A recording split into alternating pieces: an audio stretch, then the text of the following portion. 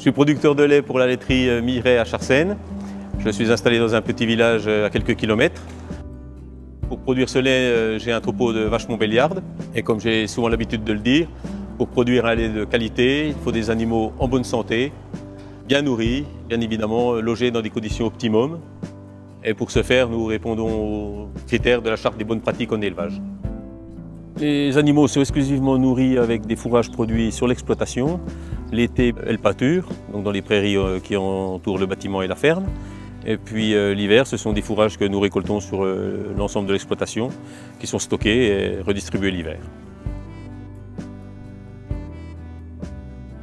Nos vaches sont traites deux fois par jour, matin et soir, tous les jours de l'année.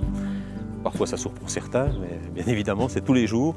Et euh, le matin environ, euh, aux environs de 6h30 et le soir vers 17h, 17h30.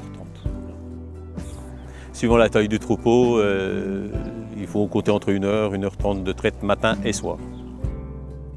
La traite aujourd'hui elle est mécanique, enfin ce qu'on entend par mécanique c'est qu'elle n'est plus manuelle.